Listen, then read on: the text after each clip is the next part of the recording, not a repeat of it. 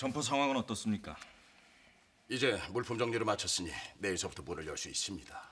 대장장 난전도 개시를 했습니다. 점포를 열되 선전과 면주전, 접포전 등은 물량을 줄이고 양민들한테 부담이 덜한 의전과 이전, 면자전의 물량을 늘리세요. 예, 도방을은 그리고 지금 즉시 조선 팔도에 있는 만상 점포에 통문을 돌려 확보한 미곡과 목재, 약재를 의주 본전으로 보내라 이르고 물량이 당도하는 대로 평안도 일대 만상과 유상 점포를 통해 쌍값에 매각하세요. 예, 예, 도방. 도방.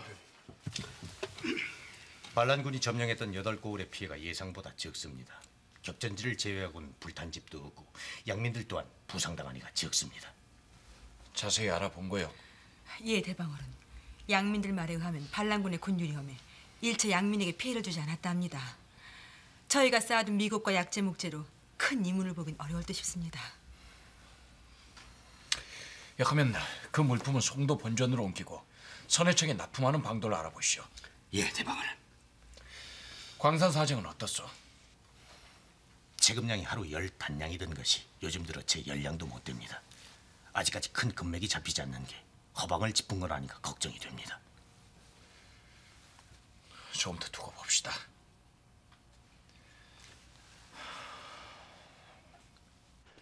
대행소를 어머, 송방의 동태는 살펴봤는가? 예 대행소는 송방이 이번 난중에 운산 금강을 인수하여 운영한다고 합니다. 아니, 그게 무슨 소린가? 금광이라니. 금광이 박주명 어린의 것이었다면 정치수가 이번 난중에 빼앗은 것이 분명합니다. 박주명 어른의 제기를 우려했겠지요. 금 생산량은 얼마나 된답니까? 하루에 열량 정도 나오고 있지만 큰 금맥을 찾기 위해 새로운 갱구를 계속 뚫고 있다 합니다. 성천의 문희선이라는 갑부는 2만 량에 달하는 금맥을 찾아 큰 상단이 보는 이문에 맞먹는 부를 축적했습니다. 송상의 그러한 금맥을 잡는다면 정치수의 입지가 더욱 공고해질 겁니다. 유행수는 지금 정치수가 어찌 금강을 인수했는지 그 경로를 소상히 파악하세요. 예 도방어른. 도방어른. 인사해 줄게. 저 도방어른이시네. 두 손이라고 합니다요. 저 이자는 평안도 일대 건립회들의 우두머리 격으로서 그 사람을 수소문하는 아주 귀신 같습니다요.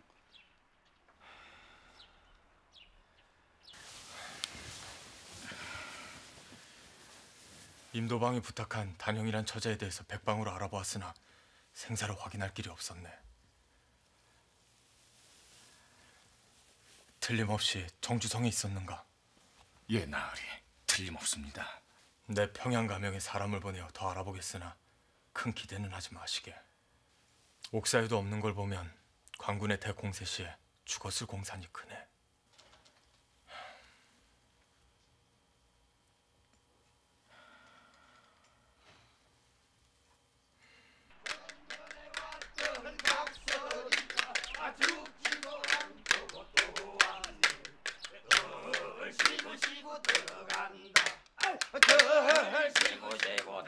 아이 됐어 됐어 그만두라고. 아, 쟤. 아니 놈들아 일을 해 일을. 멀쩡한 놈들이 비록지나고. 엉망을. 어서 썩 물러들까. 어이구. 아, 쟤. 아닙니다요. 저희들은 도방 어른을 뵈러 왔습니다요. 뭐야? 도방어른. 이 건립회 두손이라는 놈이 도방어른을 배회한다고 대문 앞에서 난리를 피우고 있습니다. 지금 두 손이라고 했습니까? 예. 어서 들러가세요. 예? 아, 아, 예. 아유, 아유, 내 무새. 그참 이상하네. 그 도방어른이 왜 건립회 놈들을 만나는 거냐? 아, 내가 그걸 어떻게 알아? 건립해 놈들 이용해서 장사를 하려고 그러나? 아, 건립회하고 무슨 장사를 해? 도방 어른 머리가 네 대가리하고 같냐 이놈아? 내 생각에는 저 저놈들하고 뭔 장사로 쉽게 그 틀림없어. 황대호란 분은 선천 옥사에 있었음이 분명합니다만 아시다시피 역당들에 대한 신상 파악은 어려운지라 어디로 압송되었는지 알 수가 없었습니다. 박주명이라는 분도 마찬가지입니다. 하지만 단영 아가씨에 대한 소식은 들을 수 있었습니다. 살아계신가? 아렵기 송구합니다만 그분은 죽었습니다.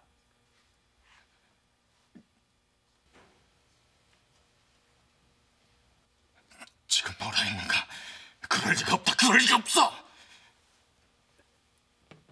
정주성이 함락됐을 때 그분과 함께 있었던 안악들이 그분의 용업하기를 기억하고 있었습니다.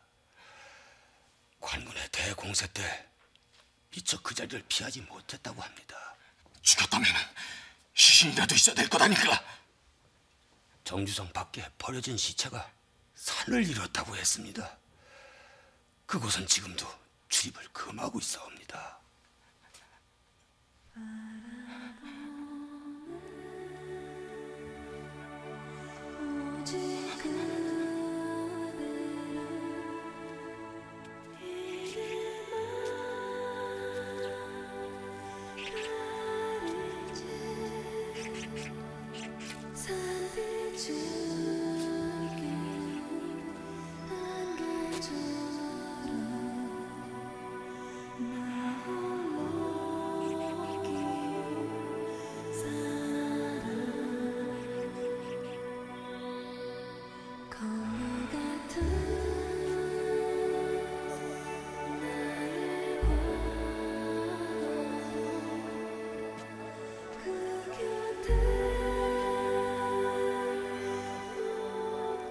아무리 부인하려고 해도 이미 제 가슴에 들어와 있는 임석이님을 지워낼 수가 없습니다.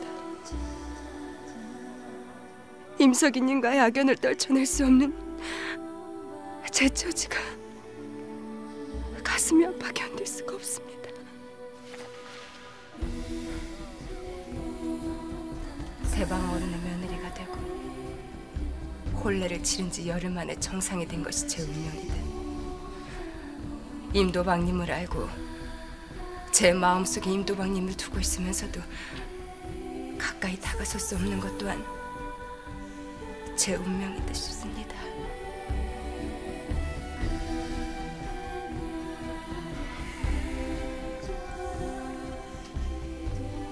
이제 그만 임도방님과의 인연을 모두 잊겠습니다.